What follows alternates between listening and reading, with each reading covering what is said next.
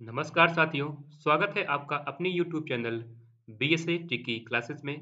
मैं धीरेन्द्र, आज किस क्लास में हम बात करेंगे रीजनिंग के प्रश्नों पर, जो आप सभी के लिए सीजीएल के लिए मोस्ट इंपॉर्टेंट प्रश्न होने वाला है। तो आप सभी को पता ही है कि सीजीएल की जो एक्सपेक्टेड एग्ज़ाम डेट है, वह दिसंबर से स्टार्ट हो रही है। तो आप सभी लोग, जितने भी स्टूडेंट्स सीजीएल का एग्ज़ाम देने वाले हैं, वो सभी लोग अपने रीजनिंग की प्रैक्टिस पर लग जाइए। तो देखिए, पहला क्वेश्चन क्या है इसमें? पहला क्वेश्चन इसमें कह रहा है कि नीचे चार संख्या युग्म दिए गए हैं, जिनमें से तीन किसी संदर्भ में एक समान है, उनमें से एक असंगत है तो असंगत का आपको चयन करना है, ठीक है? तो आपको बताना है कि इस प्रश्न में असंगत कौन सा है? ऑप्शन ए है, ऑप्शन बी है, ऑप्शन सी है या ऑप्शन डी है। देखो, अगर यहाँ पे ऑप्शन ए हम देखें तो उस अकॉर्डिंग ऑप्शन का जो लॉजिक है, वो क्या लग रहा है? ठीक है? दो गुड़े पाँच ना? अगर इनमें हम इनको इनको आपस में गुड़ा कर दें तो कितना आ रहा है? दो गुड़े पाँच गुड़े छः और गुड़ा करने पर कितना आएगा? छः पंचे तीस दूनी कितना आएगा? साठ। और इस साठ में हम प्लस वन कर दें तो कितना आ जाएगा बताओ? इकसठ। यानी यहाँ पे क्या हो रहा है? इन इन जो अक्षर हैं इनको इनके मान को यानी इनको आपस में गुड़ा करके प्लस वन कर दे रहा है जो आ रहा है उसको लिख रहा है। अब देखो आप, आप अगर ऑप्शन बी में हम देखें तो इसमें क्या हो जाएगा? तो वन गुड़े सिक्स गुड़े नाइन। तो इतना गुड़ा करेंगे तो कितना आ जाएगा? नौ सौ चौवन गुड़े एक। तो कितना आएगा? चौवन। तो चौवन गुड़े चौवन प्लस वन कर दोगे तो कितना आ जाएगा बताओ? पचपन आ जाएगा। तो यहाँ पचपन लिखा हुआ है। वैसे ही अगर हम आगे देखें ऑप्शन नंबर सी में तो दो गुड़े आठ गुड़े नौ। अगर इनको हम गुड़ा कर दें तो कितना आ जाएगा? एक सौ चौवालीस। और एक सौ चौवालीस पे प्लस वन कर दें तो कितना आ जाएगा बताओ? एक सौ पैंतालीस आ जाएगा। और अगर ऑप्शन डी में हम देखें तो दो तीन गुड़े दो गुड़े चार तो कितना आएगा? चार दूनी आठ तिरिक चौबीस। लेकिन यहाँ पे लिखा कितना है बताओ? लिखा है चौसठ। इसका मतलब डी हमारा क्या है? असंगत है। तो इस प्रश्न का राइट आंसर क्या हो जाएगा बताओ? ऑप्शन नंबर डी ठीक है? आइए आगे देखते हैं क्वेश्चन नंबर दूसरा। सेकंड नंबर क्वेश्चन में क्या है? किसी कूट किसी विशिष्ट कूट भाषा में इंटेरिया को क्या लिख रहा है? आर जी वी के जी वी जेड के रूप में लिखा जा रहा है तो उसी कोड में फ्लावर को कैसे लिखा जाएगा? आप सभी लोग इस प्रश्न का राइट आंसर क्या होगा? वह कमेंट बॉक्स में कमेंट करेंगे। बताएँगे किस क्वेश्चन नंबर टू का राइट आंसर क्या होगा।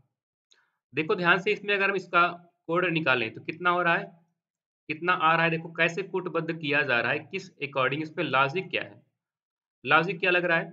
तो यहाँ पे अगर हम देखें तो क्या आ रहा है, देखो पहले लॉजिक क्या लग रहा है इसमें? क्योंकि लॉजिक अगर हमको मालूम पड़ गया तो यहाँ से हम आसान से प्रश्न को सॉल्व कर ले जाएँगे। आई आर और आपको पता होगा कि आई आर क्या है? आई आर जो होते हैं, वो आपस में क्या होते हैं? अपोजिट होते हैं। आई और आर आपस में क्या होंगे? अपोजिट अब यहाँ पे देखो एन और जी तो एन और जी में हम क्या करें? जी का मान कितना होता है? सेवन एन का मान होता है चौदह. तो यहाँ पे कितना कर दें बताओ? माइनस कर दें अगर कितना। हम माइनस अगर कर दें, चौदह में अगर सात घटा दोगे तो कितना आएगा? सात ही आएगा। तो माइनस कितना हो रहा है? माइनस सात हो जा रहा है। फिर देखो ई e और बी आपस में क्या होते हैं? अपोजिट अब के और आर देखें तो के और आर में यहाँ पे कितना कर दे रहा है? यहाँ भी कर रहा है माइनस सात. उसके बाद टी और जी दोनों अपोजिट हैं। आई और बी में क्या कर रहा है? यहाँ पे माइनस सात कर दे रहा है। फिर ए और जे, ए और जेड आपस में क्या होते हैं? अपोजिट। यानी पहले क्या कर रहा है? अपोजिट का मान लिख रहा है। यानी अपोजिट अक्षर लिख रहा है, उसके बाद माइनस सात कर रहा है। फिर अपोजिट, फिर माइनस सात, फिर अपोजिट, फिर माइनस सात, फिर अपोजिट। अब यहाँ पे फ्लावर में भी हम ऐसे ही नियम लगा देंगे। चलो, ऐसे नियम लगाते हैं, देखते हैं फ्लावर में फ्लावर में क्या आएगा। तो यहाँ पे क्या होगा? पहले हम क्या करेंगे? पहले अपोजिट लिखेंगे तो एफ़ का अपोजिट क्या होगा? यू होगा। फिर माइनस सात कर देंगे एल में। तो एल का मान बारह और माइनस सात कर दोगे कितना आएगा बताओ? पाँच। और पाँच का मान किसका होता है? पाँच किसका मान होता है? ई e का होता है। ओ का अपोजिट एल होगा। डब्लू में क्या कर देंगे? माइनस सात कर देंगे। तो देखो डब्लू का मान कितना होता है? तेईस और माइनस सात कर दोगे तो कितना आ जाएगा बताइए? कितना आ जाएगा? सोलह। और सोलह किसका होता है? पी का होता है। फिर ई e का अपोजिट क्या हो जाएगा? वी और आर में कर देंगे माइनस सात। तो अट्ठारह कितना आ जाएगा बताओ? ग्यारह। तो इस प्रश्न का जो राइट आंसर हो जाएगा U E L P V K यानी option number D option number D इस प्रश्न का राइट right आंसर हो जाएगा। चलिए आगे देखते हैं क्वेश्चन नंबर थर्ड आप सभी लोग क्लास को एक बार जोरदार शेयर कर दीजिए। अपने दोस्तों के साथ शेयर कर दीजिए एक बार। हाँ देखो क्या कह रहा है इसमें। क्वेश्चन नंबर थर्ड में आपको यहाँ पे बताना है कि जो प्रश्न के स्थान पर है, प्रश्न के स्थान पर क्या आएगा? ये आपकी प्रश्न आकृति है और ये आपकी उत्तर आकृति है। और आपको बताना है कि ऑप्शन ए होगा, या ऑप्शन बी होगा, या ऑप्शन सी होगा, या ऑप्शन डी होगा, ठीक है? तो आप लोग बताइए, इस प्रश्न का राइट आंसर क्या होगा? बताइए सभी लोग। देखो, अगर एरो हम देखें तो इस जो एरो का जो डायरेक्शन है, वो क्या हो रहा है? ये जो एरो है, ये इसमें आकर कहाँ जा रही है? नीचे। यानी कैसे आ रही? नब्बे डिग्री क्लाक वाइज घूम रही है। नब्बे डिग्री क्लाक वाइज देखो फिर यहाँ पे नब्बे डिग्री क्लाक वाइज यहाँ पहुँच आई तो अब जो एरो आएगी, वो नब्बे डिग्री क्लाक वाइज घूमेगी तो ऊपर पहुंचेगी। कहाँ पे? ऊपर। कुछ इस टाइप में एरो का क्या होगा? एरो हमारी होगी। और सभी देखो ए वाला बिल्कुल होगा नहीं। बी और सी और डी हो सकते हैं। ना ये तो बिल्कुल हो ही नहीं पाएगा। अब देखो, यहाँ पे देखो, इसमें ये कहाँ पहुँच गया? ऊपर। लेकिन जब ये ऊपर पहुँच रहा है, फिर में जो ब्लैंक है, जो काला है, ये काला कहाँ पहुँच जा रहा है? इस साइड आ जा रहा है, ठीक है? घूम कर इधर हो रहा है। और जो ये गोला है, देखो इसमें इसमें जो काला पूरा ये है, ये भी क्या हो रहा है, ये ये भी क्या हो रहा है, बदल जा रहा है। यानी दाएँ से बाएँ हो जा रहा है, बाएँ से दाएँ हो जा रहा है, ऐसे हो रहा है। देखो यहाँ भी ऐसा हुआ ना, यहाँ पहुँचा तो पहले यहाँ पे था ये तो ये इधर आ गया, ठीक है? यानी दाएँ से बाएँ पहुँच गया। ये जो यहाँ पे है, यहाँ पहुँचा, लेकिन ये भी जो इसका छोटा सा ये दिख रहा है, ये भी कहाँ पहुँच गया? ये बाएँ पहुँच गया। अब देखो यहाँ पे होगा तो ये कहाँ आएगा? नीचे आएगा।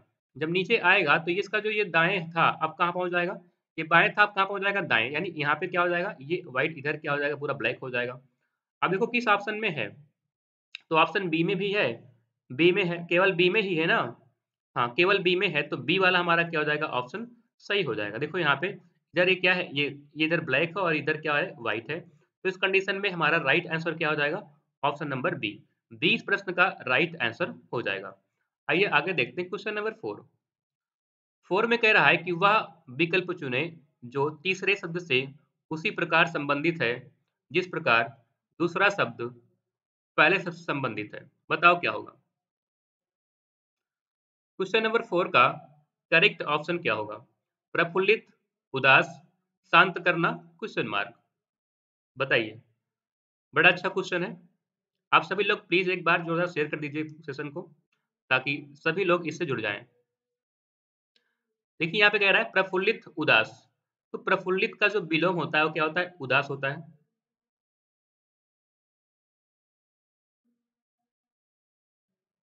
हाँ ठीक है। तो प्रफुल्लित का विलोम क्या होगा? उदास। उसी प्रकार शांत करना का विलोम क्या होगा? भड़काना। तो राइट आंसर क्या होगा इस इस प्रश्न का? ऑप्शन नंबर डी हम्म सभी लोग का सही आ रहा है। डी क्या होगा? बिल्कुल सही हो जाएगा। डी इस प्रश्न का राइट आंसर होगा, क्योंकि प्रफुल्लित का विलोम क्या होगा? उदास। ऐसे ही शांत करना का विलोम क्या होगा? भड़काना। ठीक है? आइए आगे देखते हैं। क्वेश्चन नंबर फाइव की ओर। क्वेश्चन नंबर फाइव में क्या है? क्वेश्चन नंबर फाइव में आपको बताना है कि क्वेश्चन मार्क के स्थान पर क्या आएगा? दिए गए विकल्पों में से वह वर्ण समूह चुने जो निम्नलिखित श्रृंखला में प्रश्न चिन्ह के स्थान पर आएगा। बताओ क्या होगा? क्वेश्चन नंबर फाइव का जो राइट आंसर होगा, वो क्या होगा? ये आप सभी लोग कमेंट करके बताएँगे। देखिए, ध्यान से अगर देखें तो डी वी ना, या डी और आई की हम तुलना कर ले तो क्या हो रहा है? डी और आई डी का मान फोर होगा आई का मान नाइन तो यहाँ पे कर क्या रहा है बताओ? कर रहा है प्लस फाइव कर दे रहा है। प्लस फाइव कर रहा है तो क्या हो जाएगा? नाइन हो जाएगा। ऐसे आई में और एन में देखें तो यहाँ भी क्या हो रहा है? प्लस फाइव हो रहा है, ठीक है? फिर एन और एस में देखें तो यहाँ भी क्या हो रहा है? प्लस फाइव एस और हम एस और एस में क्या कर देंगे? प्लस फाइव क्योंकि लगातार श्रृंखला प्लस फाइव की हो रही है। जो पहला हमारा लेटर है तो वहाँ भी हम लास्ट में क्या कर देंगे? प्लस फाइव और उन्नीस में पाँच जोड़ दोगे तो चौबीस आएगा। और चौबीस किसका मान होता है? एक्स का होता है। तो जितने हमारे ए और डी ऑप्शन क्या होगा? गलत हो जाएगा। तो बचे कौन? दो ऑप्शन बी और सी अब आगे चेक करो इसमें। वी और टी में देखें तो कितना हो रहा है? माइनस टू वी और टी माइनस टू फिर टी और आर माइनस टू आर और पी माइनस टू और P में कर दोगे माइनस टू तो क्या आ जाएगा बताइए? आ जाएगा चौदह। और चौदह किसका होता है? एन का होता है। अब देखिए, एक ही ऑप्शन बच रहा है कौन सा? ऑप्शन नंबर बी आगे सॉल्व करने की ज़रूरत भी नहीं है। तो इस प्रश्न का राइट आंसर क्या हो जाएगा? ऑप्शन नंबर बी हाँ तो जिन लोग का बी आ रहा है, उन लोग का बहुत अच्छा है। आगे देखिए question number six question number six आपको बताना है कि ये क्वेश्चन मार्क के स्थान पर क्या आएगा? क्वेश्चन मार्क के स्थान पर क्या आएगा? ये आप लोग बताइए। ठीक है? सभी लोग इस प्रश्न का राइट आंसर कमेंट बॉक्स में कमेंट करेंगे।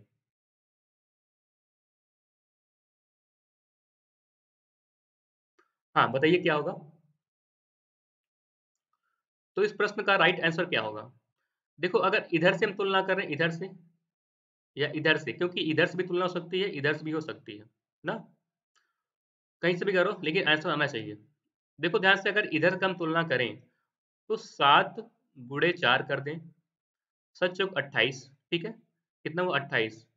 और नौ दुनी अठारह, अगर दोनों माइनस कर दें ना, नौ गुड़े दो, इन दोनों को माइनस कर दें, सच चौक कितना हो जाएगा? अट्ठाईस हो जाएगा।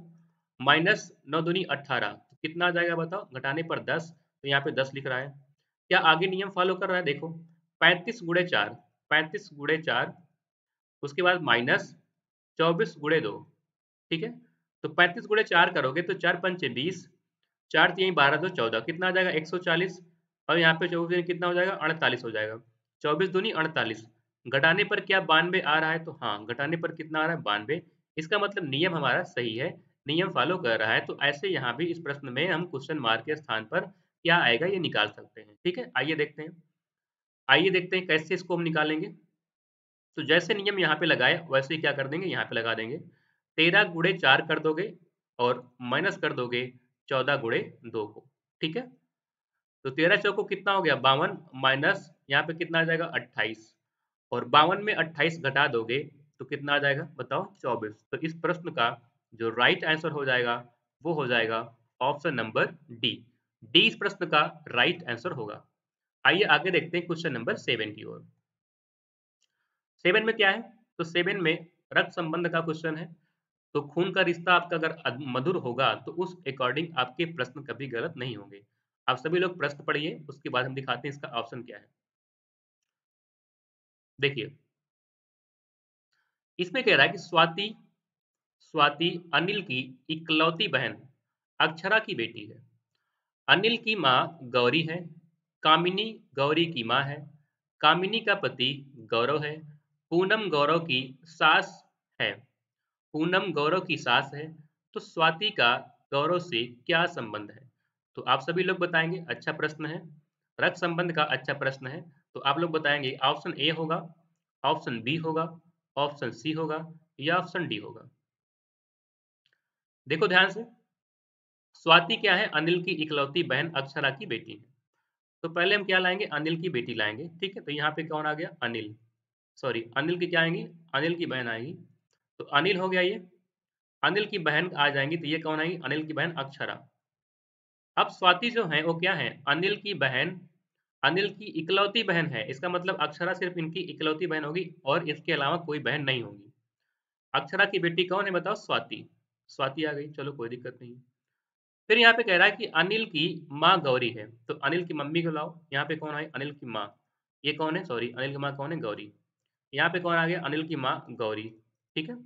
उसके बाद फिर कह रहा है, कामिनी गौरी की माँ है। तो कामिनी, अब गौरी की माँ भी आ गई तो कामिनी कहाँ जाएँगी? इनके ऊपर हो जाएँगी। कामिनी जो है वो क्या है? अनिल की सॉरी गौरी की माँ हो गई। फिर कह रहा है, कामिनी का पति गौरव है। तो कामिनी का विवाह करवा दीजिए। इनका पति कौन आ जाएगा? गौरव आ जाएँगे, ठीक है? ये इनके हस्बैंड हो गए। उसके बाद कह रहा है कि पूनम गौरव की सास है। अब देखो, पूनम गौरव की सास कब होंगी? अगर आपका विवाह हुआ है तो आपकी सास कौन होंगी? आपको पता होगा। आपकी वाइफ की मम्मी। इसका मतलब यह है, कामिनी की मम्मी कौन है? पूनम पूनम कौन है? कामिनी की मम्मी, ठीक है? पूनम कौन है? कामिनी की मम्मी है। तभी पूनम क्या होंगी? गौरव की सास होगी।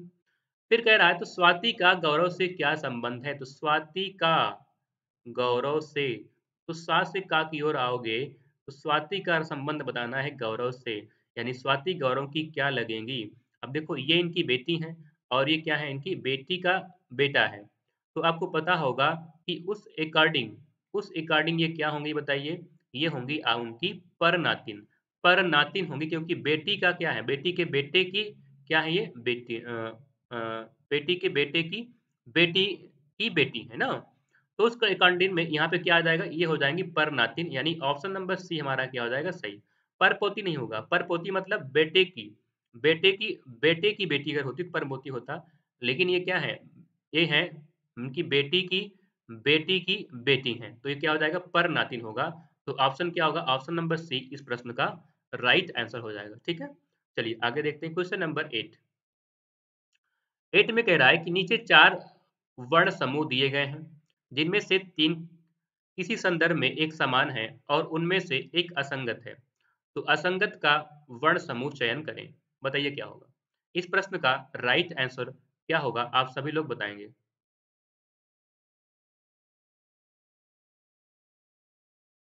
देखिए ध्यान से, क्या आएगा इसमें?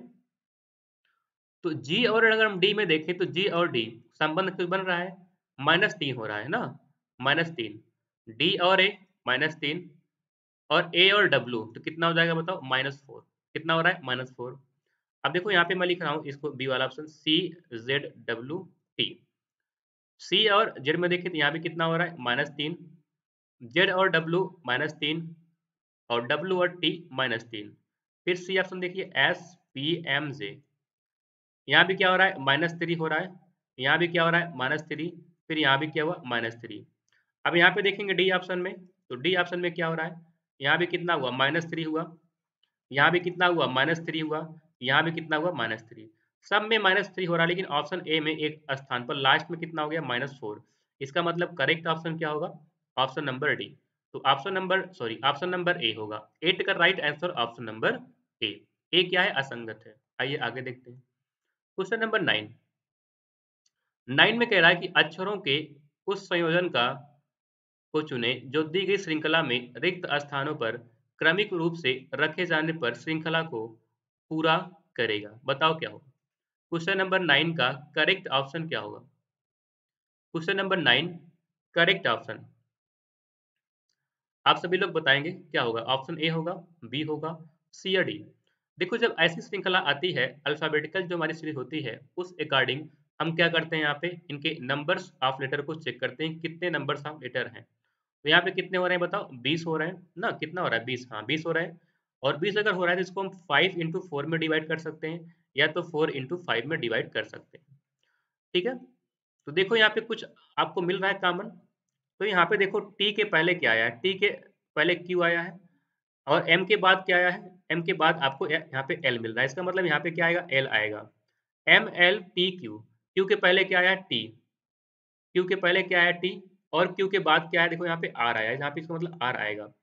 तो M L Q T R हम देखते हैं, पाँच बनाते हैं। M L T Q R फिर M L T Q R ठीक है? फिर M L T Q R फिर क्या हो जाएगा? फिर M L T Q R M L T Q R यानी इसमें जो सीरीज़ बन रही है, किसकी बन रही है? M L T Q R M L T Q R M L T Q R तो बताओ क्या मिला हमको? एल मिला, फिर आर मिला, फिर टी मिला, फिर एल मिला, फिर आर मिला, फिर एल फिर क्यू अब देखो किस ऑप्शन में आ रही है। ऑप्शन ए आ रहा है बी आ रहा है सी क्या? तो एल आर टी फिर एल आर एल क्यू यानी option number C option number C इस प्रश्न का राइट आंसर हो जाएगा। ठीक है? आइए आगे देखते हैं question number ten question number ten यहाँ देखिए क्या है? तो यहाँ पे P और N में एक दर्पण प्रतिबिंब रखा हुआ है। यहाँ पे एक दर्पण रखा हुआ है और आपसे पूछ रहा है कि जो लिखा हुआ है, ठीक है? ये लिखा हुआ है तो ये दर्पण में किस प्रकार दिखाई देगा? और ये चार ऑप्शन दे रखे हैं। बताओ क्या होगा? ए होगा बी होगा सी होगा या डी होगा?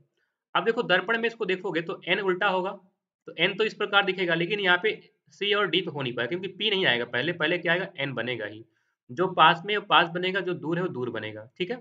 फिर क्या आएगा? ओ दोनों में ओ सही है, आई आएगा, आई दोनों में सही है, टी आएगा, टी दोनों में सही है, लेकिन फिर देखो पी आएगा, यहाँ पे क्या आ गया? आई, क्योंकि पहले क्या आएगा? पी ही आएगा, आई नहीं आएगा। तो उस अकॉर्डिंग ऑप्शन बी क्या हो गया? गलत तो बचा कौन? ऑप्शन नंबर ए तो इस प्रश्न का जो राइट आंसर हो जाएगा, वो क्या हो जाएगा? ऑप्शन नंबर ए ठीक है? आइए आगे देखते हैं question number next question number ग्यारह, देखिए यहाँ पे कुछ हमको कथन दिया है और ये हमको चार ऑप्शन दे रखे हैं। कुछ स्टूल टम्बलर है, फिर कुछ टम्बलर ग्राइंड ग्राइंडर है। तो आप लोग बताएँगे कि इसका जो सही वेन आरेख होगा, वो क्या बनेगा? ऑप्शन ए होगा या ऑप्शन बी होगा? ऑप्शन सी होगा या ऑप्शन डी होगा? बताइए 11 नंबर प्रश्न का राइट आंसर क्या होगा?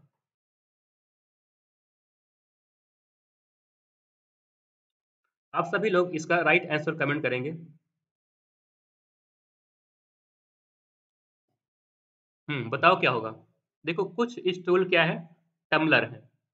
तो इसको हम डायग्राम से बनाए तो क्या बनेगा? कुछ स्टूल क्या बनेगा? टम्बलर बनेगा। फिर कह रहा है, कुछ टम्बलर ग्राइंडर है। तो टम्बलर क्या हो जाएगा? ग्राइंडर तो इसमें राइट आंसर क्या हो जाएगा? ऑप्शन नंबर ए तो इस प्रश्न का राइट आंसर क्या हो जाएगा? ऑप्शन नंबर ए ठीक है? आइए आगे देखते हैं क्वेश्चन नंबर बारह। बारह क्या है देखिए? बारह जो है, कोडिंग डिकोडिंग से है। तो आप लोग बताएँगे कि इसका राइट आंसर क्या होगा। यहाँ पे कह रहा है कि किसी विशिष्ट कूट भाषा में प्राइवेट को क्या लिख रहा है? ये लिख रहा है। और फिर कह रहा है कि शॉर्टेन को लिख रहा है ये के रूप में कूटबद्ध किया गया है तो उसी भाषा में, ठीक है रेफ्यूजल को कैसे कूटबद्ध किया जाएगा? बताओ क्या होगा। क्वेश्चन नंबर 12 का जो करेक्ट ऑप्शन होगा, वो क्या होगा? और अच्छा क्वेश्चन है ये अच्छा प्रश्न है कोडिंग डिकोडिंग का। आपके एग्ज़ाम में आ चुका है, बताओ क्या है? देखो, ध्यान से यहाँ पे देखें तो आ, यहाँ पे पी है, लेकिन यहाँ पे लिखा कितना है? ग्यारह। तो आपके दिमाग में एक बात यहाँ पे आ रही होगी तो पी का मान तो सोलह होता है, लेकिन पी का जो अपोजिट होता है, वो क्या होता है? के और के का मान क्या होता है? ग्यारह। आर का अपोजिट आई और आई का मान नौ। आई का अपोजिट आर आर का मान अट्ठारह, ठीक है? इसका मतलब ये है कि यहाँ पे कर क्या रहा है? अपोजिट के मान को लिख रहा है। अपोजिट के जो मान है, उनको लिख रहा है, ठीक है? अब देखो, यहाँ पे चेक करो एस का अपोजिट क्या होगा? एच होगा। एच का मान कितना है? अठारह सॉरी कितना होता है? आठ होता है। फिर यहाँ पे एच है तो एच का मान क्या होगा? एच का एच का अपोजिट क्या होगा? एस और एस का मान उन्नीस। तो आपको क्लियर हो गया होगा कि यहाँ पे हो क्या रहा है? चल क्या रहा है? अपोजिट के मान को लिख रहा है, ठीक है? तो ऐसे ही हम क्या करेंगे? आर का जो अपोजिट है, वो क्या है बताओ? आई तो आई का मान नाइन ई का अपोजिट क्या है? वी और बी का मान होता है बाईस एफ़ का अपोजिट यू यू का मान इक्कीस यू का अपोजिट एफ़ एफ़ का मान सिक्स एस का अपोजिट एच एच एच का मान कितना हो जाएगा? एट ए का अपोजिट जेड और जेड का मान छब्बीस एल का अपोजिट ओ और ओ का मान पंद्रह। तो इस प्रश्न का जो राइट आंसर होगा, वो क्या हो जाएगा? नाइन ट्रिपल टू तो एक ही में है, कौन सा? Option number D option number D इस प्रश्न का राइट आंसर हो जाएगा। ठीक है? आइए आगे देखते हैं क्वेश्चन नंबर तेरह की ओर। बताइए, तेरह नंबर क्वेश्चन में आपको बताना है कि वह विकल्प आकृति चुने जिसमें दी गई आकृति में सन्निहित है। दी गई आकृति सन्निहित है। लेकिन आकृति को रोटेट नहीं करना है। बताओ क्या होगा? क्वेश्चन नंबर तेरह का राइट आंसर ऑप्शन ए होगा ऑप्शन बी होगा ऑप्शन सी होगा या ऑप्शन डी होगा। देखो, ये तो बिल्कुल होगा ही नहीं, क्योंकि ए हम निकाल नहीं सकते बिना रोटेट किए, लेकिन आपको रोटेट नहीं करना है। अब देखो बी चेक करो तो बी हम यहाँ देखिए, अगर यहाँ पे ये ये इतना आ जाएगा, फिर ये ये। लेकिन ये वाला चीज़ नहीं बन पाएगा ना, ये वाला चीज़ बी में तो बी वाला भी नहीं हो पाएगा। अब देखो सी चेक करिए तो यहाँ पे अगर लाएँ, इतना कट करें, फिर ये यहाँ पे आएगा, ठीक है? फिर ये कैसे जाएगा, देखो, यहाँ पे ऐसे, फिर ये इतना, फिर ये इतना, फिर इतना, ठीक है? इसका मतलब सी से क्या हो जाएगा? ये निकल जाएगा। तो सी इस प्रश्न का राइट आंसर हो जाएगा, ठीक है? आइए आगे देखते हैं। क्वेश्चन नंबर चौदह। चौदह में कह रहा है कि नीचे चार शब्द दिए गए हैं, जिनमें से तीन किसी संदर्भ में एक समान है और उनमें और उनमें से एक असंगत है। तो उस असंगत शब्द का चयन करें। बताइए क्या होगा? क्वेश्चन नंबर चौदह का राइट आंसर क्या होगा? अड़चन डालना, वर्जित करना, अनुज्ञा देना, अटकाना। ठीक है? अटकाना। क्या होगा बताओ? बताइए, चौदह का राइट आंसर क्या होगा?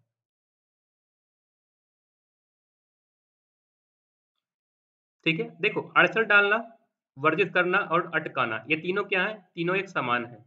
लेकिन अनुज्ञा देना ये क्या है? ये अलग है। तो राइट आंसर क्या होगा इसका? Option number C option number C इस प्रश्न का राइट आंसर हो जाएगा। नेक्स्ट देखो। पंद्रह। पंद्रह में आपको बताना है कि गणती संक्रियाओं या गणती चिन्हों का वह सही संयोजन चुने, जिसे क्रमिक रूप से स्टार चिन्हों के स्थान पर रखने से समीकरण संतुलित हो जाएगा। बताओ क्या होगा? तो ऐसा प्रश्न है जिसमें सभी ऑप्शन को चेंज सभी ऑप्शन को चेक करना ही पड़ेगा। ऑप्शन ए होगा, या डी होगा, या बी होगा, या सी होगा। बताइए, क्या होगा इस प्रश्न का राइट आंसर तो इस प्रश्न का जो राइट आंसर होगा वो क्या हो जाएगा? ऑप्शन नंबर डी डी कैसे होगा? देखिए पहले। अगर यहाँ पे हम देखें इसको तो 221 माइनस, सॉरी, क्या आएगा? भागे 17 गुड़े 12 माइनस एक सौ तीस प्लस 24 बराबर 50 इसको अगर हम यहाँ पे डिवाइड कर दें तो कितना जाएगा? सत्रह के अंदर सत्रह सत्रह तरीक इक्यावन गुड़े बारह माइनस एक सौ तीस प्लस चौबीस बराबर पचास। गुणा करोगे तो बारह तीन छत्तीस बचा तीन, बारह अंदर बारह और बारह तीन पंद्रह। कितना होगा? एक सौ छप्पन। माइनस एक सौ तीस प्लस चौबीस बराबर पचास। चौबीस और छप्पन जुड़ जाएगा तो कितना हो जाएगा बताओ? एक सौ अस्सी माइनस एक सौ तीस बराबर पचास। ठीक है? तो एक सौ अस्सी और तीस घटाओगे एक सौ घटाओ कितना आ जाएगा बताओ? 180 और घटाओगे 130 तो कितना आ जाएगा? 50 तो इसका मतलब डी वाला हम यहाँ पे रखें समीकरण। तो इस तरीके से ये हमारा प्रश्न का राइट आंसर हो जाएगा सॉल्व हो जाएगा ठीक है? आइए आगे देखते हैं क्वेश्चन नंबर 16 16 में आपको बताना है कि इस आकृति में ट्रैंगल कितने हैं? इस आकृति में ट्रैंगल कितने हैं? दी गई आकृति में कितने त्रिभुज हैं? बताओ। 32, 26, 28 और 30 ऑप्शन बताइए क्या होगा? क्या होगा? इस प्रश्न का राइट आंसर क्या होगा? देखो ध्यान से अगर यहाँ पे देखें तो इस प्रश्न में कितने बन रहे हैं? देखो, एक, इस तरीके से इसको हम काट के अलग कर सकते हैं, इस तरीके से। ये, ना? और एक, इस तरीके से मैं इसको कलर चेंज कर दिखा रहा हूँ आपको। एक, इतना हम काट के अलग कर सकते हैं, इतना। ठीक है? और देखो, और हम क्या कर सकते हैं? और देखो, और एक, इस तरीके से इसको हम काट के अलग कर सकते हैं। ध्यान से देखो सब लोग। और देखो और इस तरीके से इसको हम यहाँ पे इतना अलग कर सकते हैं। ठीक है? अगर हम एक अलग करें तो उस अकॉर्डिंग ये देखो, एक अलग करते हैं ऐसे। तो एक में कितना बन रहा है? तीन। और यहाँ बन कितने रहे चार। तो कितना हो जाएगा बताओ? गुड़े चार कर दोगे तो कितना आ जाएगा? बारह। और जैसे बारह यहाँ पे बना है, वैसे बारह यहाँ भी बनेगा। ठीक है? तो बारह ये बारह ये। कितना हो गया बताओ? बारह प्लस बारह, कितना हो गया? चौबीस, ठीक है? अब आगे देखो, और क्या बन रहा है? एक ये बना, एक ये बना, एक ये बना, एक ये बना, कितना हो गया? चार तो चौबीस प्लस चार, कितना हो गया? अट्ठाईस, और बन रहा देखो, और बन रहा है कुछ ना? अब देखो, एक ये वाला बनेगा, एक ये वाला बनेगा, एक ये वाला, और एक ये वाला तो अट्ठाईस प्लस चार और कर दोगे तो कितना आ जाएगा? बत्तीस, क्या और बन रहा है क्या? और बन रहा है नहीं तो बत्तीस इस प्रश्न का राइट आंसर हो जाएगा। यानी इसमें कुल टोटल बत्तीस ट्रायंगल बन रहे हैं। ठीक है? चलिए, आगे देखते हैं। क्वेश्चन नंबर सत्रह। हम्म। सत्रह में कह रहा है कि वह सही विकल्प चुने जो दिए गए शब्दों को उस क्रम में वे अंग्रेज़ी शब्दकोश में आते हैं। बताओ, उस शब्द, उस क्रम में आपको रखना है जिस क्रम में वे अंग्रेज़ी वर्णमाला के अंतर्गत आते हैं। बताओ क्या होगा? ऑप्शन ए होगा या बी होगा या सी होगा या डी होगा। ठीक है? देखो चूज़ करो यहाँ पे। तो R E L R E L अच्छा R E L A R E L A T भी है ना? चलो R E L T R E L A T R E L A T सब में कॉमन है उसके बाद देखो यहाँ पे आई तीन में कॉमन है ना? आई भी कॉमन है, यहाँ तीनों में आई कॉमन है, लेकिन यहाँ पे ए कॉमन है, यहाँ पे ई तो पहले क्या आएगा? पहले ए ही आएगा, यानी फाइव आएगा पहले नंबर पर, ठीक है? ये पहले नंबर पर क्या आ जाएगा? ये आ जाएगा। उसके बाद ई है तो ये क्या आ जाएगा? दूसरे नंबर पर। फिर देखो सब में ई कॉमन है ई सॉरी आई कॉमन है तो आई के बाद देखो यहाँ पे वी कॉमन है, यहाँ बी यहाँ पे ओ तो पहले क्या आएगा? वी और ओ में पहले कौन आएगा? ओ आएगा ना? तो ये आ जाएगा थर्ड नंबर पर। फिर देखो दोनों में वी कॉमन है तो वी यहाँ पे ए है तो इसका मतलब ये आ जाएगा फोर्थ नंबर पर तो ये आ जाएगा फाइव नंबर पर, ठीक है?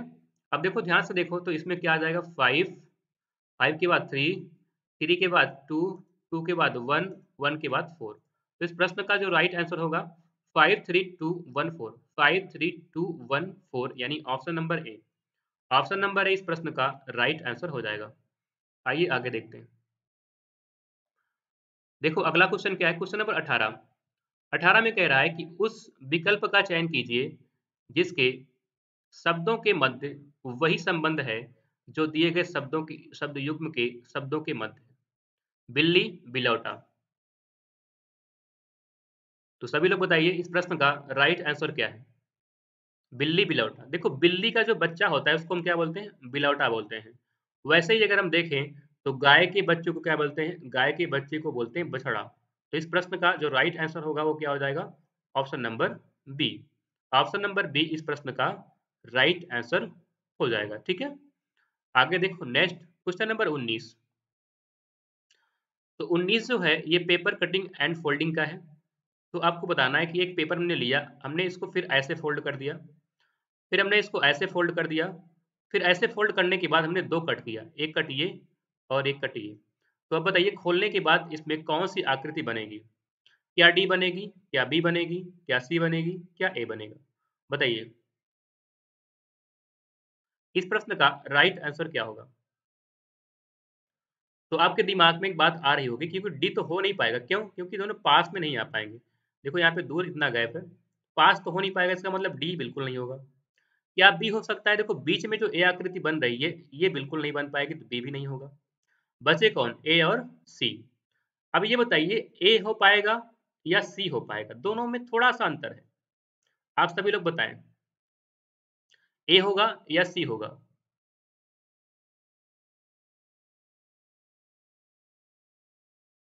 ध्यान समझो। देखो, ध्यान से अगर हम देखें तो उस अकॉर्डिंग क्या ए बन पाएगा? ये वर्ग बन रहा है। ये क्या बन रहा है? वर्ग। लेकिन इसमें अगर देखोगे आप तो ये वर्ग क्या है? ये थोड़ा सा क्या हो रहा है? वर्ग नहीं हो रहा है, ये आयत बन रहा है। तो यहाँ पे हल्का से ये बड़ा बनेगा, ना?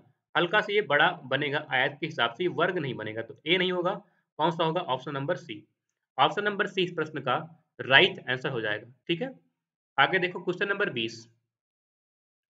बीस में कह रहा है, नीचे चार संख्या युग्म दिए गए हैं, जिनमें से तीन किसी संदर्भ में एक समान है और उनमें से एक असंगत है तो असंगत संख्या युग्म का चयन करें।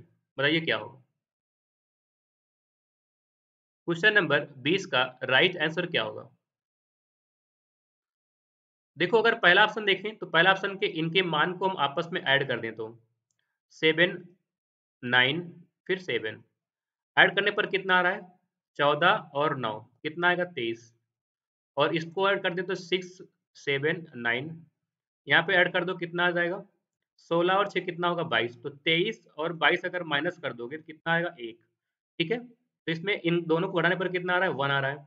यहाँ पे देखो, सात दो नौ नौ सात कितना हो जाएगा? सोलह। सोलह अगर माइनस कितना कर दें, इसको जोड़ो, कितना आएगा? सोलह और नौ कितना आएगा? पंद्रह। तो माइनस करने पर यहाँ भी वन आ रहा है। ऐसे यहाँ पे देखिए तो यहाँ पे नौ एक दस ग्यारह, यहाँ पे सात एक आठ और आठ और सात कितना होगा? पंद्रह। माइनस करने पर कितना आ रहा है? माइनस फोर आ रहा है। यहाँ पे देखो सात, तीन, दस, तीन, तेरह, फिर पाँच पाँच, दस, दो, बारह। यहाँ पे कितना आ रहा है? यहाँ पे माइनस करो कितना आएगा वन आएगा। लेकिन ऑप्शन सी में कितना आया? Minus four. इसका मतलब असंगत कौन सा है? Option number C. तो ऑप्शन नंबर सी इस प्रश्न का राइट आंसर हो जाएगा। ठीक है? आइए आगे देखते हैं। क्वेश्चन नंबर इक्कीस। इक्कीस में क्या है? तो इक्कीस में कह रहा है कि वह विकल्प चुने जो चौथी संख्या से उसी प्रकार संबंधित है, जिस प्रकार दूसरी संख्या से पहली संख्या और छठी संख्या से पांचवी संख्या संबंधित है। बताओ क्या होगा? इस प्रश्न का राइट आंसर क्या होगा, आप सभी लोग बताएँगे। बहुत ही अच्छा क्वेश्चन है। अगर दिमाग वहाँ तक पहुँच गया तो आप आसानी से सेकंडों में सॉल्व कर लेंगे और अगर नहीं पहुँचा, तब तो दिक्कत हो ही जाएगी आपको। लेकिन रीजनिंग में हमेशा याद रखिएगा कि अगर रीजनिंग में अगर कोई भी सीरीज़ है, अगर उसमें आप अटक गए मतलब अगर आपको नहीं आ रहा है तो आप उसको अभी छोड़ दीजिए, लेकिन जब दोबारा आप सॉल्व करोगे लास्ट में तो आपको आसानी से आ सकता है। ये नहीं कि हाँ बिना सॉल्व करके हटेंगे नहीं तो आपका टाइम खराब होगा तो ये आपको ध्यान रखना है। देखो, यहाँ पे अगर देखें तो चार और दो गुड़ा कर दें कितना होगा? आठ, ये आठ लिखा हुआ है। देखो, ऐसे यहाँ पे देखें तो नौ और दो कितना? अठारह तो यहाँ पे अठारह लिखा हुआ है। अब यहाँ पे हम इन दोनों को गुड़ा कर देंगे, जो आएगा क्वेश्चन मार्क के स्थान पर आ जाएगा। तो पाँच गुड़े दो कितना आ जाएगा बताओ? दस। तो इस प्रश्न का राइट आंसर हो जाएगा ऑप्शन नंबर बी दस इस प्रश्न का राइट आंसर हो जाएगा, ठीक है? आइए आगे देखते हैं। क्वेश्चन नंबर बाईस। बाईस श्रृंखला से है। इसमें कह रहा है कि दिए गए विकल्पों में से वह संख्या चुने जो निम्नलिखित श्रृंखला में प्रश्न चिन्ह के स्थान पर आएगा। बताओ क्या होगा? क्या आएगा प्रश्न चिन्ह के स्थान पर? यहाँ पे क्या आएगा? हम्म ए आएगा बी आएगा सी आएगा या डी आएगा? सभी लोग कमेंट करिए फास्ट और सभी लोग शेयर कर दीजिए प्लीज़ एक बार। सभी लोग शेयर कर दीजिए एक बार सेशन को। हम्म देखो 18 और यहाँ पे देखें 36 तो कितना हो रहा है? 18 गुणे दो। सॉरी दो नहीं हो रहा है। 18 प्लस कितना हो रहा है? 18 ही हो रहा है ना? उसके बाद 18 और यहाँ पे कितना है? छत्तीस और चौवन देखें यहाँ पे कितना हो रहा है? प्लस अठारह हो रहा है। ठीक है? तो आगे भी कितना हो जाएगा? प्लस अठारह हो जाएगा। तो चौवन में अठारह प्लस करोगे तो कितना आएगा? बहत्तर। तो इस प्रश्न का जो राइट आंसर हो जाएगा ऑप्शन नंबर सी हो जाएगा। ठीक है? या इसको देख लीजिए तो यहाँ पे क्या हो रहा है? प्लस तीन हो रहा है यहाँ भी, प्लस तीन यहाँ भी हो रहा है। ठीक है? तो इस प्रश्न का राइट आंसर क्या हो जाएगा? ऑप्शन नंबर सी बहत्तर इस प्रश्न का राइट आंसर होगा। देखिए, तेईस। तेईस जो है क्या है हमारा? ये डाइस का है। तो इसमें कह रहा है कि उस घनों का चयन करें। जिन्हें दी गई सीट को लाइनों पर मोड़कर बनाया जा सकता है। देखिए, ये है आपका ऑप्शन। अब आप लोग बताइए। किसको किसको हम बना सकते हैं? ए को बना सकते हैं बी को बना सकते हैं सी को बना सकते हैं या डी को बना सकते हैं? क्या होगा राइट आंसर अब हम बताए थे आपको कि कोई भी अगर डाइस होगा या घन होगा तो अगर जो भी अपोजिट सतहें हैं, वो एक साथ छुप नहीं सकती और ना ही एक साथ दिख सकती और जो पड़ोसी हैं, वह एक साथ कभी नहीं आएँगी, ठीक है? जो पड़ोस, जो पड़ोसी हैं, वो विपरीत नहीं हो सकती, ठीक है? ये आपको ध्यान देना होगा। अब देखो, यहाँ पे हम देखें तो विपरीत, दो का विपरीत क्या होगा? ब्लैंक वाला, यानी दो का विपरीत क्या है जो ब्लैंक वाला है? उसके बाद देखो, यहाँ पे जो बिंदी रखी हुई, इसका ब्लैंक इसका जो अपोजिट है, वो क्या है? ब्लैंक वाला, ये जो बिंदी है, इसका अपोजिट क्या है? ब्लैंक वाला तो बचा क्या है? ये और ये, ठीक है? तो इसका जो अपोजिट होगा, वो भी क्या होगा? ब्लैंक वाला होगा। अब देखो, ध्यान से अगर हम यहाँ पे देखें तो उस अकॉर्डिंग जो ए वाला है, यानी यहाँ पे अगर है तो इसका जो ब्लैंक है छुपा होगा, नीचे होगा, बिल्कुल सही है। अगर ये लिखा हुआ है तो हो सकता है कि ये इसका हो, ना, हो सकता है इसका हो ये, जो ये ब्लैंक है। ठीक है? क्योंकि छुपेगा फिर ब्लैक छुप जाएगा। अगर दो नहीं दिख रहा है, इसका मतलब ब्लैंक वाला भी दिख रहा है तो ए वाला भी बन सकता है, बन सकता है। अब देखो बी वाले में देखें तो अगर ये दिख रहा है तो ब्लैंक वाला छुपा होगा। छुपा है? हाँ छुपा है। अगर ये बिंदी वाला दिख रहा है, इसका मतलब ब्लैंक वाला भी छुपा होगा, ये भी छुपा है। दो अगर नहीं दिख रहा है, इसका मतलब जो क्या दिख रहा है बताओ, क्या दिख रहा है जो ब्लैंक वाला तो ब्लैंक वाला यहाँ पे दिख रहा है, दो नहीं दिखा। तो बी वाला बन सकता है। देखो सी चेक करिए। अगर दो दिखा तो ब्लैंक वाला क्या होगा? छुपा होगा। छुपा है। यहाँ पे डॉट है। डॉट अगर दिख रहा है तो ब्लैंक वाला छुपा होगा। बिल्कुल सही है। अगर ये दिखा ये अगर नहीं दिखा तो इसके स्थान पर कौन दिखेगा? जो यहाँ पे ये क्या है ब्लैंक वाला, पूरा व्हाइट वाला। तो सी भी बन सकता है। आगे देखो डी वाला। हाँ डी भी क्या हो जाएगा? बन जाएगा। तो इसमें करेक्ट क्या हो जाएगा? सभी क्या होंगे? बनेंगे। तो सी वाला ऑप्शन क्या होगा? सही होगा। सभी ए बी सी डी क्या होंगे? इसको हम बना सकते हैं इस आकृति से। तो राइट आंसर क्या हो जाएगा? ऑप्शन नंबर सी आइए आगे देखते हैं। क्वेश्चन नंबर चौबीस। चौबीस में कह रहा है कि वह विकल्प चुने जिसमें संख्याएँ एक दूसरे से उसी प्रकार संबंधित हैं, जैसे नीचे दिए गए सेट की संख्याएँ एक दूसरे से संबंधित है। बताओ, चौबीस का राइट आंसर क्या होगा?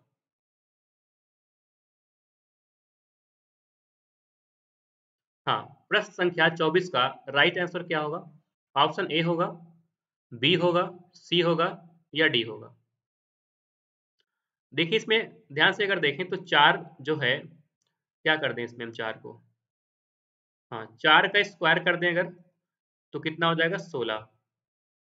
और ऐसे ही हम अगर सात का स्क्वायर सात का क्यूब कर देते हैं, क्योंकि तीन सौ पैंतालीस के नियरेस्ट है, ना?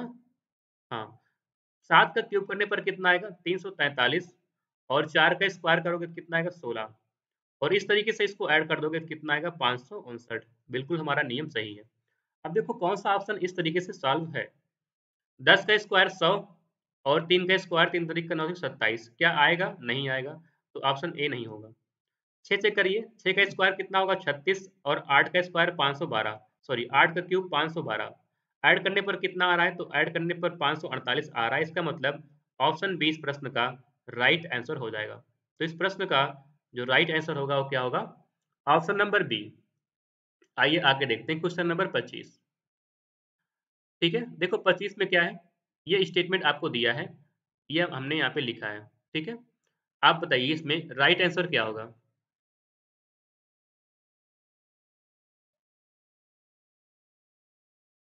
हाँ पच्चीस का राइट आंसर क्या होगा?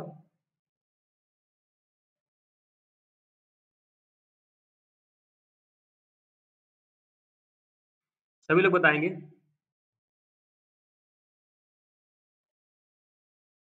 देखो, ध्यान से अगर देखें तो यहाँ पे कह रहा है, सभी पंखे हीटर हैं। यानी इसका हम देखते हैं, सभी प्योरीफायर हीटर हैं। तो प्योरीफायर हीटर कहाँ है? प्योरीफायर यहाँ पे, हीटर यहाँ पे। फ़र्स्ट और थर्ड को ऐड करें, दोनों में कॉमन कुछ मिल रहा है? नहीं। फ़र्स्ट और थर्ड को ऐड करने के लिए हमको सेकंड की सहायता लेनी पड़ेगी। दोनों में कूलर कूलर कॉमन है। कूलर और कूलर क्या हो जाएगा? कैंसिल पंखे और पंखे, ये भी कैंसिल हो जाएगा। तो सभी प्योरीफायर क्या हीटर हैं? हाँ दे देगा। तो पहला वाला हमारा सही हो जाएगा। अगर सभी प्योरीफायर हीटर हैं तो कुछ प्योरीफायर हीटर दे देगा। इसका मतलब दूसरा वाला भी क्या है? सही। तीसरा कह रहा कुछ हीटर कूलर है। देखो हीटर कूलर कहाँ पे है? तो कूलर यहाँ पे है, हीटर यहाँ पे है, यानी फ़र्स्ट और सेकेंड से हम इसको निकाल सकते हैं। दोनों में कॉमन क्या है? पंखे पंखे। दोनों कट जाएगा। तो कुछ हीटर कूलर क्या होगा? हाँ बिल्कुल होगा। दूसरा भी सही, तीसरा भी सही हो जाएगा। चौथा कह रहा है सभी कूलर हीटर हैं। देखो क्या सभी कूलर हीटर हैं? हाँ क्योंकि कूलर के पास हंड्रेड है, यहाँ हीटर के पास पचास। हमको यहाँ पे कूलर के पास हंड्रेड चाहिए हीटर के पास पचास चाहिए। तो सभी कूलर हीटर निकल जाएगा। यानी इसमें क्या हो जाएगा? इसमें हो जाएगा? सभी हमारा सही है। तो ऑप्शन नंबर ई क्या है? सही है। सभी हमारा क्या हो जाएगा? निष्कर्ष, सभी हमारे सत्य हैं। तो ऑप्शन नंबर ई हमारा क्या हो जाएगा? इस प्रश्न का राइट आंसर हो जाएगा। ठीक है? हाँ ई बिल्कुल सही है। सभी सही है। सही है। आगे देखते हैं अगला। क्वेश्चन नंबर छब्बीस। छब्बीस में कह रहा है कि आपसे पूछ रहा है, किसी कुट भाषा में टॉर्च को लिखा जाए U N P S D I और बेस्ट को लिखा जाए C D F T U तो बताइए मार्क्स को क्या लिखा जाएगा? मार्क्स को क्या लिखा जाएगा? बताओ क्या होगा? देखो T O R C H क्या लिखा गया इसको? U N P S D और क्या लिखा गया है? आई ठीक है? ऐसे ही बेस्ट को क्या लिखा गया है? बेस्ट को लिखा गया है C D F T U तो आप लोग बताएँ बताएँ इस प्रश्न का राइट आंसर क्या होगा? सभी लोग कमेंट करेंगे।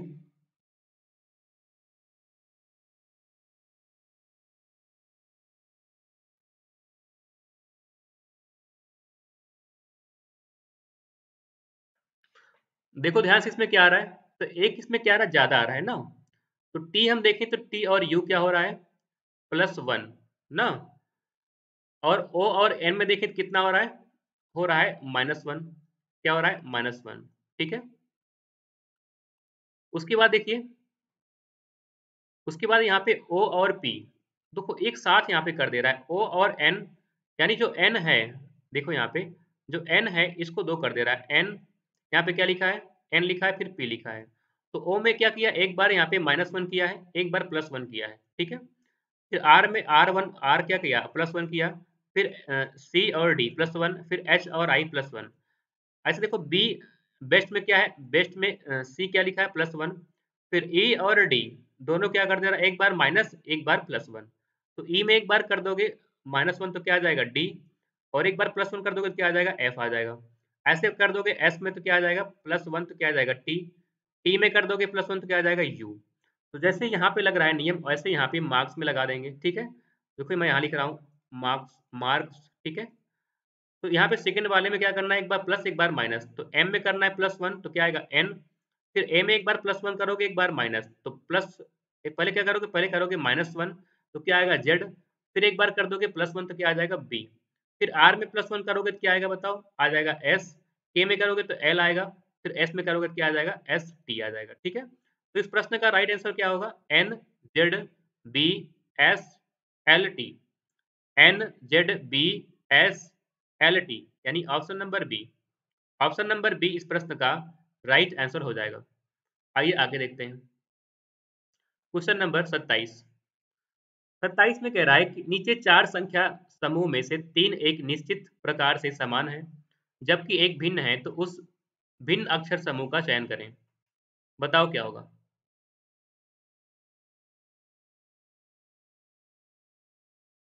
राइट आंसर क्या होगा?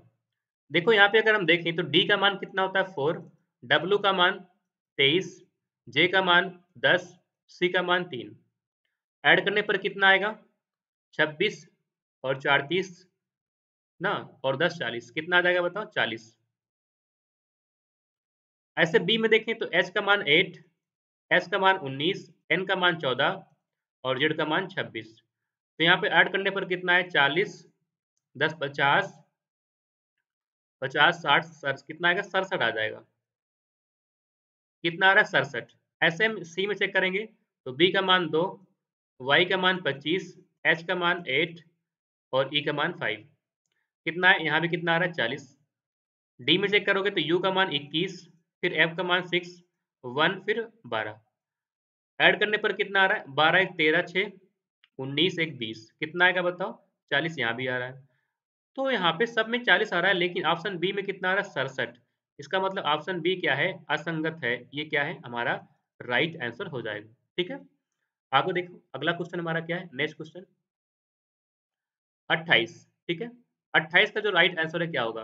कह रहा है कि निम्न समीकरण को संतुलित करने के लिए इसके किन दो चिन्हों को आपस में बदलना पड़ेगा? बताओ क्या होगा? राइट आंसर क्या होगा? आप लोग बताइए।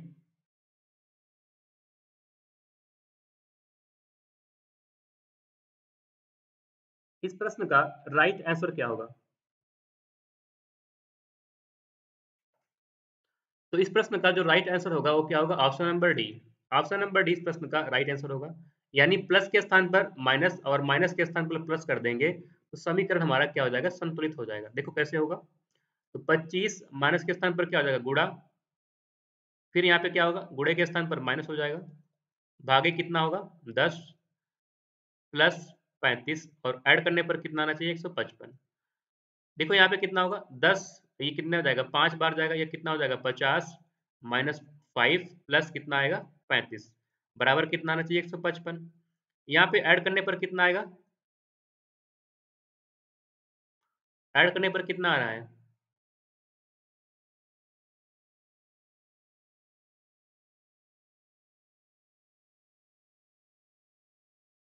हम्म कहीं गलत कर दिया क्या हमने? हाँ हमने गलत कर दिया है क्या?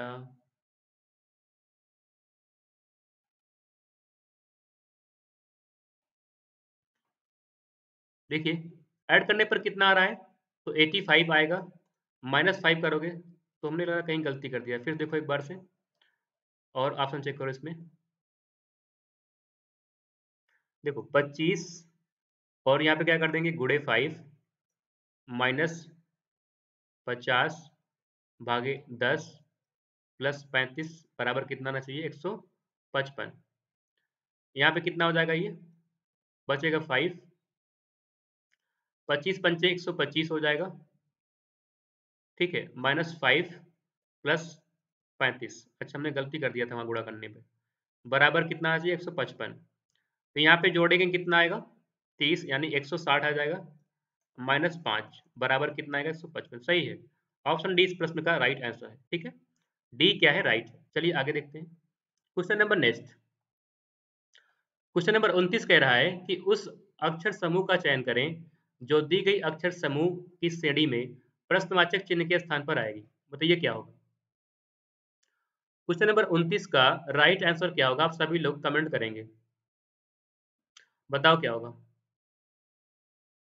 देखो यहाँ पे अगर हम देखें तो इसकी तुलना हम किससे कर लेते हैं? इससे कर लेते हैं। इसकी तुलना फिर इससे कर लेते हैं इसकी तुलना फिर इससे करते हैं ठीक है? फिर आगे हम तुलना कर लेंगे। देखो यहाँ पे देखें तो ए और ई e, तो ए और ई e में संबंध देखो कितना हो रहा है? प्लस फोर का ठीक है? फिर ई e और आई में कितना हो रहा है? प्लस कितना हो रहा है? प्लस फोर का हो रहा है ठीक है? फिर हम यहाँ देखें ई और ई और देखें आई में तो प्लस फोर हो रहा है। आई और किसमें करें? आई और ओ में तो कितना हो रहा है? प्लस सिक्स हो रहा है, ना? नौ छ पंद्रह हो जाएगा, ना? ठीक है?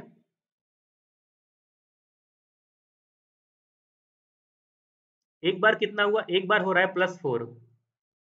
Plus four. उसके बाद देखो यहाँ पे कितना हो रहा है? यहाँ पे कितना हुआ? एक सेकेंड, में इसको थोड़ा सा अलग लिखता हूँ। देखो यहाँ पे। इसको मैं अलग करता हूँ। ए ई फिर क्या है? ई ई क्या है? ई आई। फिर क्या है? आई ओ फिर क्या है? O U. ठीक है? देखो यहाँ पे देखें तो ए और ई e, तो कितना हो रहा है? Plus four. ई और आई तो प्लस फोर हुआ यहाँ पे। फिर आई और ई में देखें तो कितना हो रहा है? प्लस फोर यहाँ भी हुआ, ना, पाँच, चार, नौ। फिर यहाँ पे कर दें, कितना हो रहा है देखो पहले? तो यहाँ पे हो जाएगा आई और ओ में। कितना हो रहा है? प्लस सिक्स हो रहा है, ना। उसके बाद यहाँ पे कर देंगे आई और ओ में तो कितना हो रहा है? यहाँ पे प्लस सिक्स हो रहा है। फिर ओ और यू में कर देंगे तो यहाँ पे कितना हो रहा है? Plus six. तो आगे भी क्या हो जाएगा? ऐसे निकल जाएगा। ना, आगे भी ऐसे हो जाएगा। ठीक है? आप देखो यहाँ भी जब करोगे इस अकॉर्डिंग इसमें इसमें जब करोगे, जो हमारा दूसरा वाला है, यानी के क्यू के क्यू फिर आल एल आर आएगा, फिर यहाँ पे क्वेश्चन मार्क जो आएगा, हमारा आंसर हो जाएगा। तो यहाँ मैं इसको अलग कर रहा हूँ के क्यू फिर क्या है एल आर फिर क्या है क्वेश्चन मार्क तो जैसे वहाँ पे था, वैसे यहाँ भी कर देंगे, ठीक है? तो यहाँ पे कितना हो रहा है? के और एल कितना हो रहा है? प्लस वन अच्छा यहाँ प्लस वन हो रहा है। प्लस वन फिर क्यू और आर कितना हुआ प्लस वन तो एल में करोगे प्लस वन तो कितना आएगा बताओ? क्या आएगा बताओ? एम आएगा। आर में करोगे प्लस वन तो कितना आएगा? एस आएगा। यानी क्वेश्चन मार्क के स्थान पर क्या आएगा? एम एस एम एस यानी option number C option number C इस प्रश्न का राइट right आंसर हो जाएगा। ठीक है? तो आज के क्लास में हम इतना ही बात करेंगे। और आपको क्लास कैसी लगी, बिल्कुल कमेंट करके ज़रूर बताइएगा। ठीक है? मिलते हैं कल। जय हिंद नमस्कार।